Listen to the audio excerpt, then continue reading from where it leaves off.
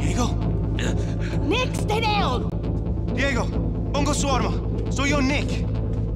Take this guy out, man. He's making me nervous. Shut up. Diego, it's Nick. Nick.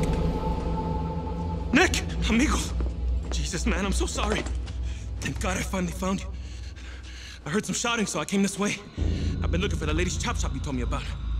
Nick, man, things are really bad, man. We are so screwed. Where's the rest of your unit? My unit got owned by the zombies. We were over at that new museum. You know, big deal exhibit. Freaking president was there. We let her down.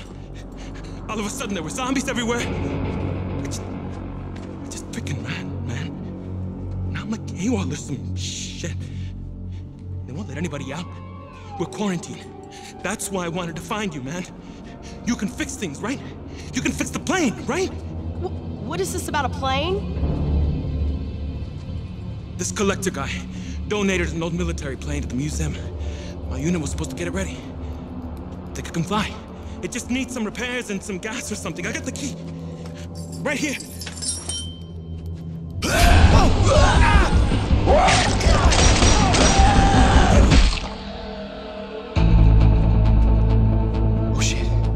It was real nice knowing you, pal.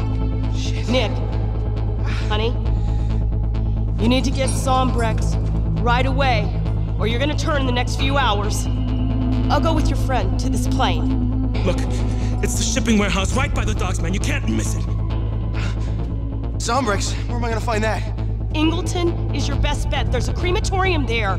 Morgues keep emergency backup of Zombrex. They locked all the gates off because of the dead people inside. You're gonna have to go through the sewers.